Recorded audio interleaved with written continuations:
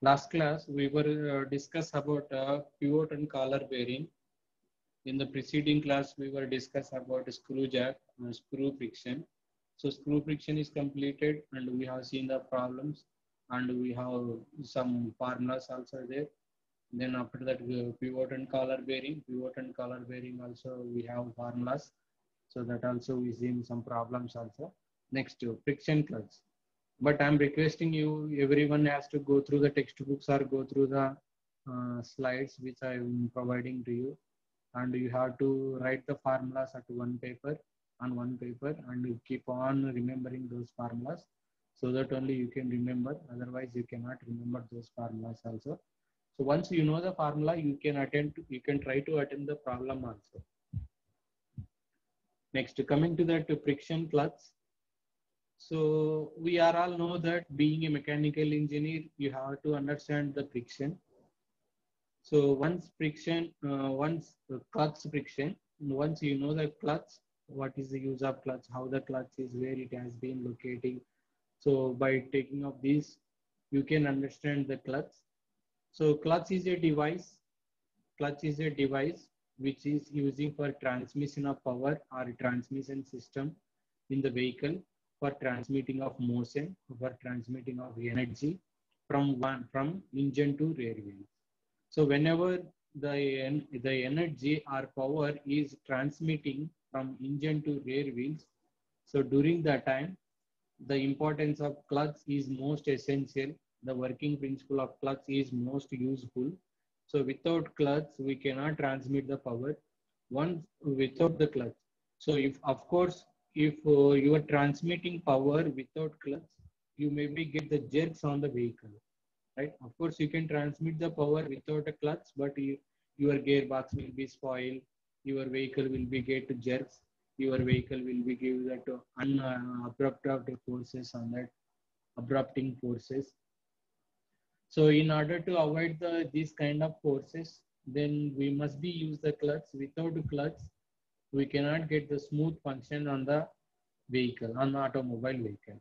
So clutch is located in between the engine and the transmitting system. I'll show you how engine, how clutch is locating, how clutch plate is working here. Through video, I will show you. Right. So it is it is locating, being locating in between the engine and being engine and the transmission system. When the clutch is engaged, when the clutch is engaged, power transmit from engine to driving wheels through the transmission system in the vehicle so that the vehicle will move, will get moved. When the clutch is engaged, so clutch is engaged is a one condition, clutch is disengaging is a one condition.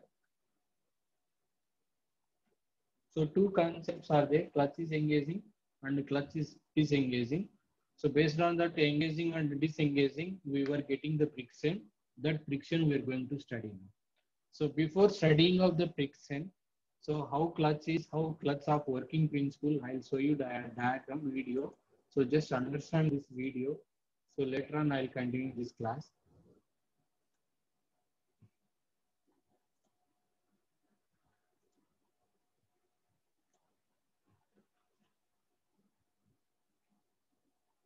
right? So all you please attend uh, attention on this video, attention on the video. I hope that all are looking on the screen uh, this video. Are you looking this video on the screen? Yes, sir. Just watch this video.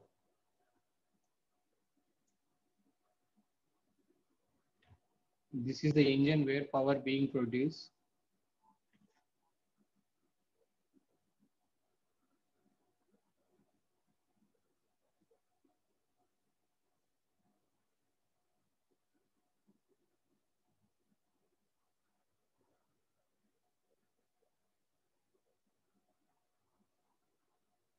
right we were studying about this. See here all of you. This is flywheel. Flywheel we are not studying right now. We were studying about this only this function. Clutch plate. How clutch plate is engaging? How clutch plate is disengaging? Just observe that engaging and disengaging by applying pedal clutch pedal.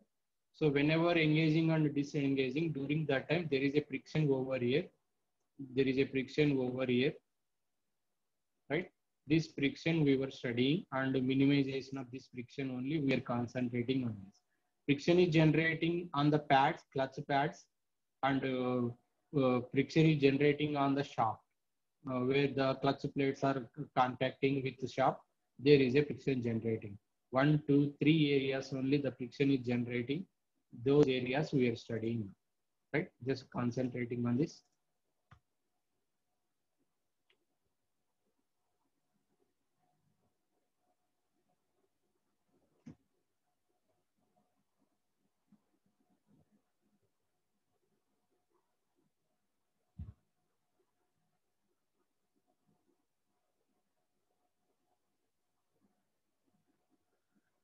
This is disengaged position.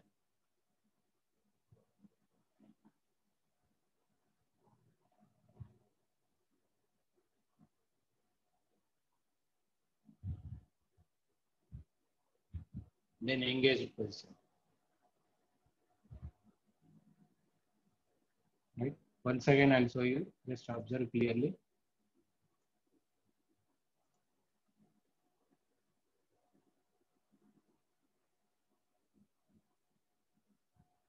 Disengaged position.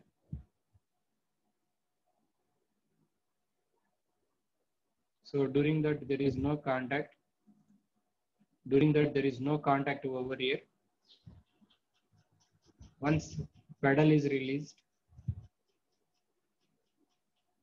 there is a contact over here. This is a contacting, connected together. So whenever the connection is there, power being transmitted to the gearbox.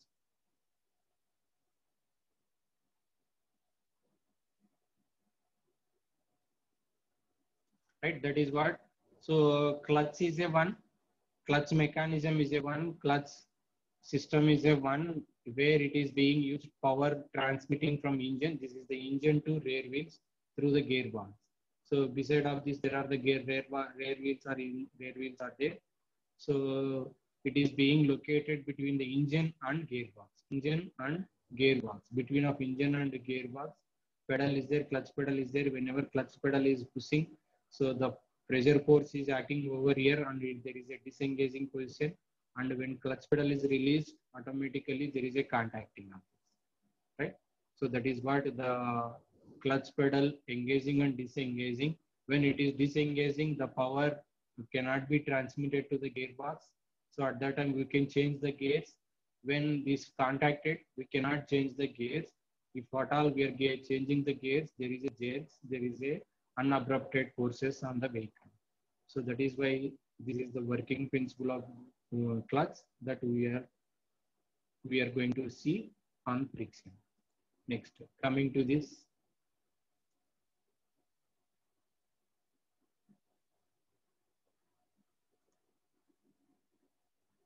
Next. So it is a device, it is transmitting power. It is located between the engine and the transmission, the engine and the transmission system. Transmission system is nothing but between the gearbox and the clutch engaged and disengaged position also we see. So there are requirement why the clutch is required here in the automobile. So uh, the first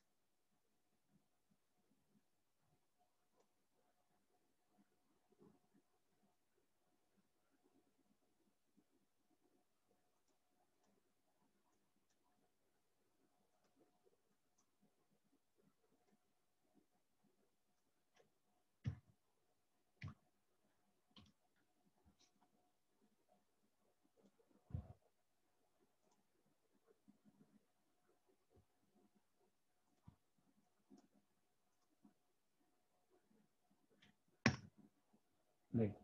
So here there is a requirement of clutch. So the first requirement of clutch is uh, torque transmission. Torque transmission is nothing but power. When power is uh, passing through the gearbox, there is a torque, right? Power being converted into torque. Torque is nothing but uh, we know that torque T is equal to force into perpendicular distance force into perpendicular distance. So that is why the torque is one, torque is uh, converting into the power. Next, gradual engagement. So gradual engagement, gradual contact between the clutch plates. Gradual contacts are nothing but uh, slowly because suddenly we cannot apply the clutch pedal. Suddenly if we apply the clutch pedal, there is a damaging of clutch pedals. So that is why we cannot apply the clutch pedals, uh, clutch force directly. So slowly it has to be engaged. Heat dissipation because there are the pads. I shown you that pads where the friction is generating. So there the pads are using for uh, heat dissipation whenever it is engaging and disengaging, engaging, uh, connecting or disconnecting. There is a frictional forces. Due to that frictional forces, heat is generating. So the kind of heat should be dissipation. The kind of heat should be uh, removal from there. So further, there are the contact rubbers are there the contact rubbers are observing heat. Next, dynamic balancing, balancing of force. So compulsory the, the balancing force is required here. So that is why the balancing force is also balancing force is must. Vibration damping. So vibration damping is nothing but the springs are there in the bottom of the vehicle. There are not the springs. So leaf springs. So those springs are using for observing of vibrations. So that is why the clutch is a one, the clutch is uh, minimizing the kind of vibrations over there. Size. So the size of the clutches also is most essential here. Free pedal play. Pedal play is nothing but uh, the driver is applying pedal. So in order to apply, in order to connecting or disconnecting of the pedal. So that is why the pre pedal play is most easy in operation because whenever the power transmitting easy to operate of these clutches and lightness these are the lightweight so some of the so requirement screen share కనిపించడం లేదు sir screen share కనిపించడం లేదా video దగ్గర నిలిచిపోయింది no Yeah, okay, sir. Now, okay? Okay, okay, sir. Okay. So once again, I'll show you that uh, because you were unable to see the screen. No? So once again, I'll go through this. So requirement of clutch, there are few requirement of clutches are there. So these are the few requirement of clutches. One is torque transmission, power being converted into torque in the gearbox. So gradual engagement. So we cannot apply the sudden force on the clutches if at all we are doing that, clutch plates will be damages. That is why gradual uh, engagement should be taken place. Heat should be minimizes because continuously there is a shaft and clutches are clutch plate clutch plates are engaging and disengaging. So through which there is a uh, heat generation. The kind of heat generation should be minimizes. Then balancing also must be provided there uh, because once we are failure to uh, providing of balances, total vehicle balance will be out. So vibration of the damping. So vehicle vibrations must be avoided by taking of this. So in order to size should be minimizes and easy in operation and lightness. These are the few requirements of there. So that requirement we have to understand on the pedal, uh, on the clutch pedal. Next, coming into the next concept, next to here. So friction clutches of the following types are important from the subject point of view. There are few uh, important clutches are there here. Important clutches. One is disc or plate clutch. So we seen where disc clutch or plate clutch. This is the one. Single disc or multi disc clutches are there. Cone clutches are there because compared to disc or plate clutch the shape of the disc or plate clutch is in the disc manner or plate manner. So here the disc or plate is in the shape of a cone. In the shape of a cone that is a cone clutches. Sometimes there are the centrifugal clutches because by applying force large amount of force by applying centrifugal force the centrifugal clutches are working these two clutches are working by manual forces.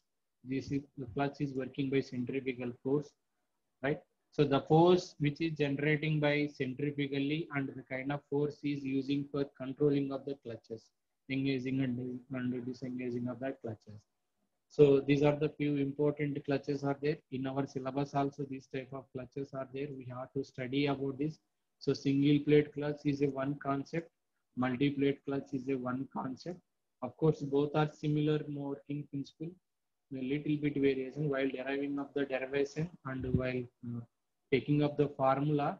These two are similar only, but a little bit variation. I'll show you that the variation also but you can understand and you can keep in mind that a logic symbol logic blind symbol between these two also cone clutch this is the one kind of clutch here this is also is there in our syllabus centrifugal clutch this is also there in our syllabus right? So let we'll see one by one over here. Understand that clutch clutch is a one important device in automobile engineering. So by using of a clutch we can engage and disengaging of the engine uh, engine to uh, rear wheels when power being transmitted. And we can avoid the friction, we can avoid the jerks and we can provide the smooth torque. We can provide the smooth torque to the rear wheels. Smooth torque to the rear wheels through gearbox. So for that purpose only the clutch plates are using. So there are few important clutches are there. Single plate clutch or multi-plate clutch. Single plate clutch is also called as a disc plate clutch. Second one is cone clutch is a one. Third one is centrifugal clutch is a one. So here you can see that whatever I shown the diagram video. So whatever I shown you that video, same, this is also same only here, right? Engaging and disengaging.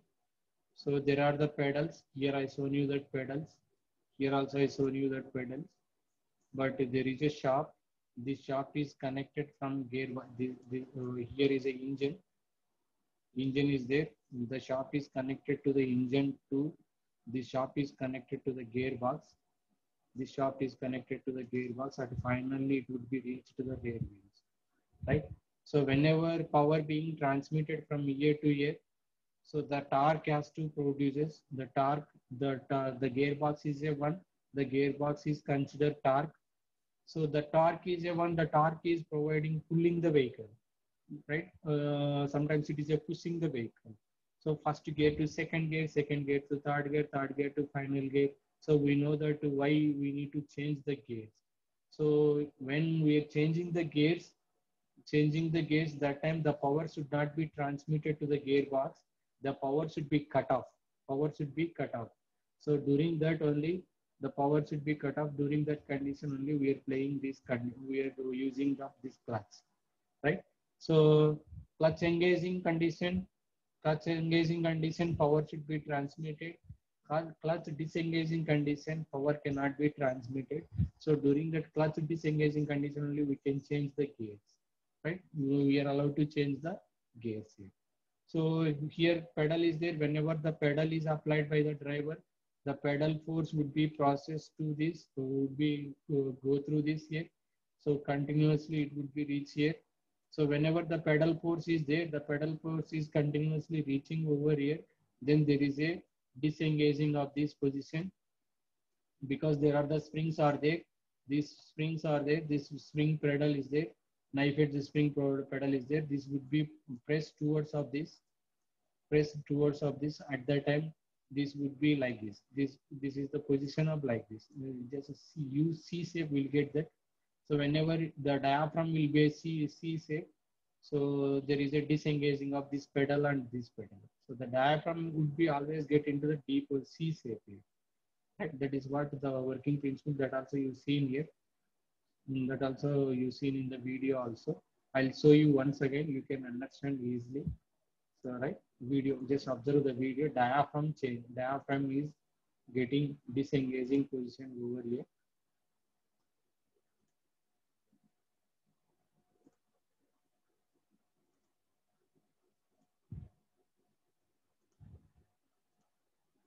See, pedal force is applying over here.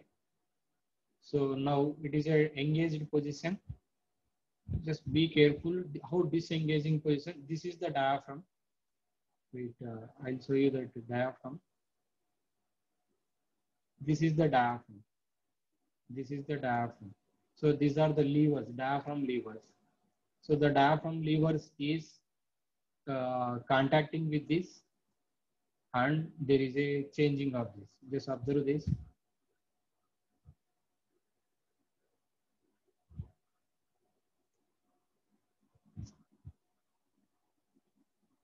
See pedal force is moving. So the diaphragm levers are getting engaged.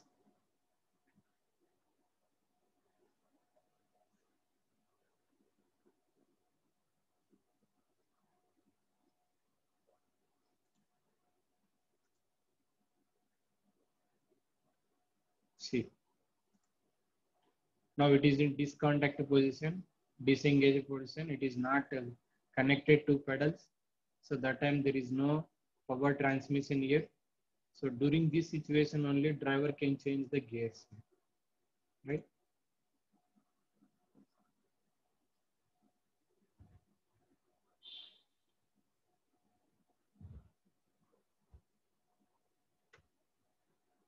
Once pedal is released, the shaft is rotating there. See now the shaft is, this shaft is rotating here.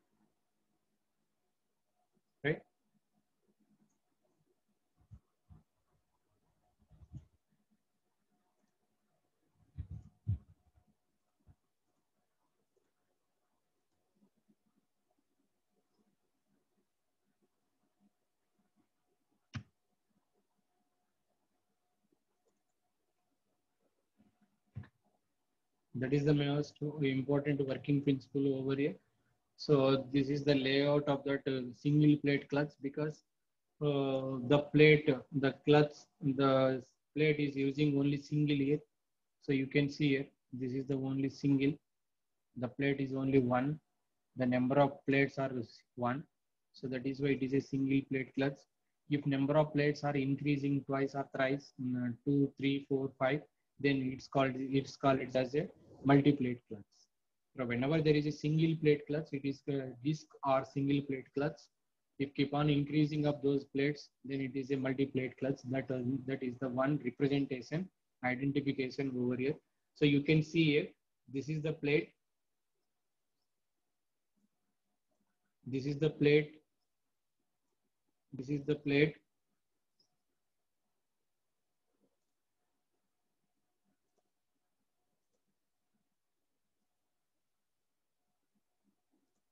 right? This is the plate. Beside of the two friction surfaces are there. These are uh, made by the asbestos rubber mode uh, with rubber mode asbestos. You can see this is the one and this is and this is the one and this one. So these are pads. Simply I can say that uh, clutch plate pads, right? Clutch plate pads.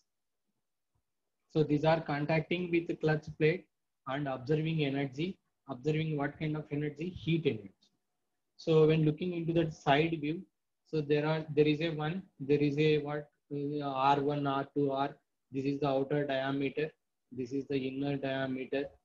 So you can see it. And the, somewhere it is taking that to uh, what you call that some amount of portion area. That portion area is called as a dr right? In dr. In the design factor always we are taking that only little bit area we are considering and this area we are considering and we are taking this is the D, right? So there, there is a R from here to here. There is a R1 outer diameter. There is a R2 inner diameter, right? So from here to here, um, from this is the area, this is the length, which is called call it as a R2. Then we are taking that one more area from this area. This is called as a DR. DR so from there to it is a inner inner radius that is a R. Then from here to here um, we're considering this is a R2. Outer radius, inner radius, right? So you can see these radius is also inner radius and outer radius dr. So this is what we are taking that. So now when uh, uh, when pedal is applied, pedal force is applied. When pedal force is released, these two conditions we are taking. And one more thing, most important, as like uh, pivot and collar bearing, we were studied uniform pressure, one condition, and uniform wear, one condition. So those two conditions are once again we are going, we are applying over here, and on on basis of those two conditions only we are evaluating friction. in the friction in the clutches. Clear? So uniform pressure is a one condition because the pressure is coming from pedal pedal force which is applying by the driver. So once the uniform pressure is applying, the uniform pressure is going over through this. Then at that, what is the friction force that we have to study and uniform wear. Due to these frictional forces, there are there is a some amount of rubbing forces. There is a some avoid uh, there is a, some damages and there is a more amount of friction generation.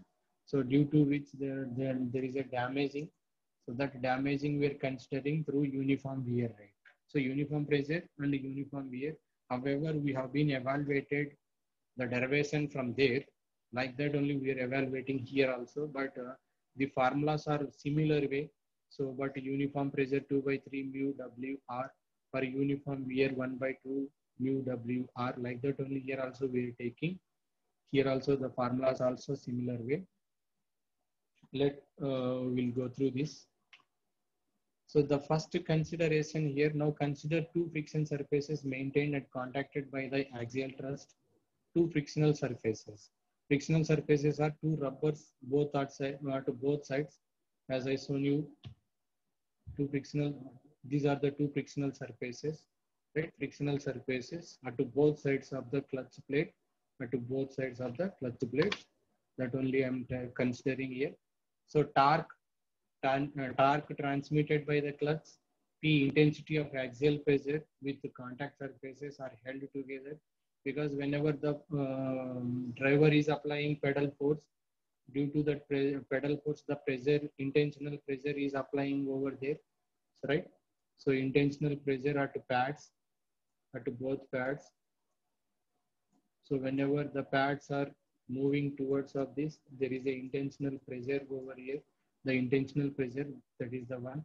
R1, R2, the external and internal, I shown you that.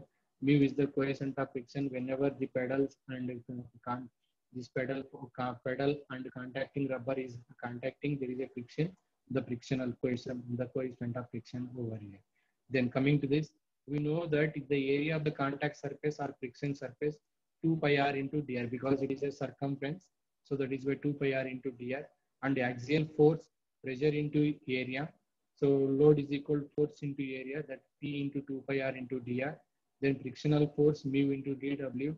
So by taking of this torque, by taking of a torque, we uh, finally deriving this is the force here. This is the torque frictional force here. Because one by one, step by step, we are taking here. Just you understand the derivation. Derivation is not that much of importance to concept of here. But anyway, you have to understand and you have to remember this right? This is the torque over frictional torque over here, the kind of frictional torque.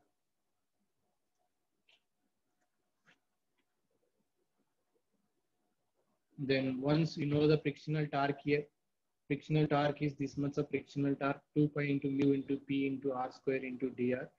Then the frictional torque can be evaluated by two conditions. One is uniform wear, another one is uniform uh, wear, uniform pressure.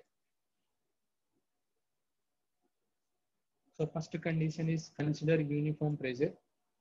Consider uniform pressure by taking up the to P is equal W by area. So load by area. Area is nothing but pi into R1 square minus R2 square. This is the load area. Then TR is equal to 2 pi into mu into P into R square into TR. That we've seen that in the previous slide.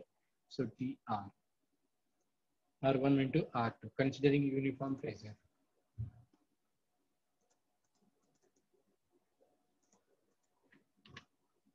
So after deriving of this and uh, apply the integration, then finally we see the formula. The formula would be like this. So this is the formula, the final formula, 2 by 3 into mu into W into R. So whereas R is equal to what? R can be represented of this because we have a two radiuses, inside radius and outside radius. So that is the one. So torque is equal where in the pivot and collar bearing 2 by 3 into mu into W into R there.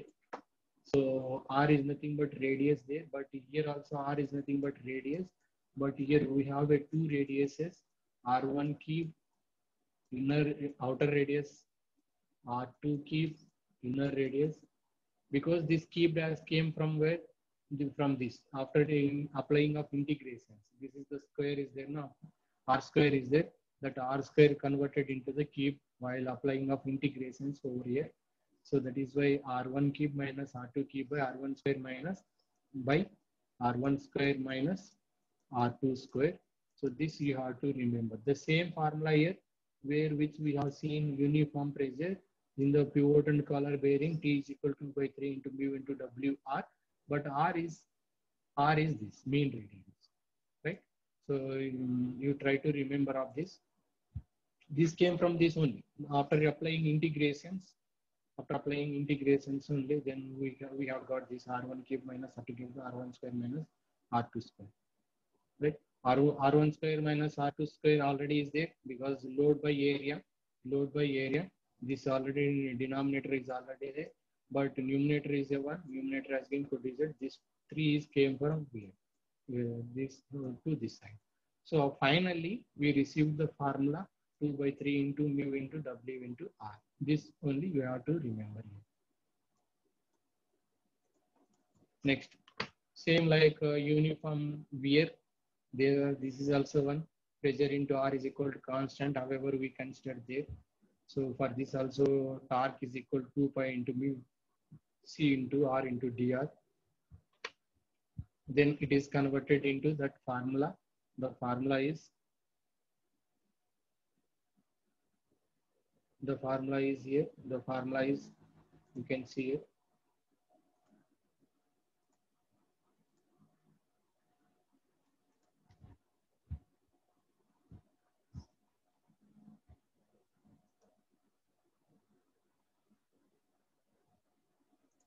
The formula is here. You can see it. Torque T is equal. This is for uniform wear rate. Mu into W into R. But where R is equal to R1 plus R2 by 2.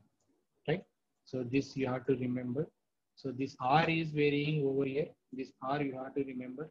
There one 3 by 2, but here 1 by 2. Uniform here. Right? So if you if you are going to take consider number of uh, uh,